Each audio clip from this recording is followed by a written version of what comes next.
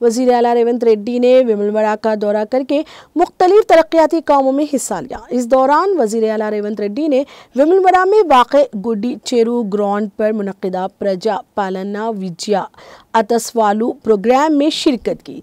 तकरीब में रियासती वज्रा पोंगुलप्टी श्रीनिवास रेड्डी, उत्तम कुमार रेड्डी, दामोदर राज नरसिम्हा, पूनम प्रभाकर तमला नागेश्वर राव, श्रीधर बाबू, सदर टीपीसीसी महेश कुमार गौड़ के अलावा दिगर मुकामी कांग्रेस कायदीन और कारकुनों की कसी तादाद ने शिरकत की।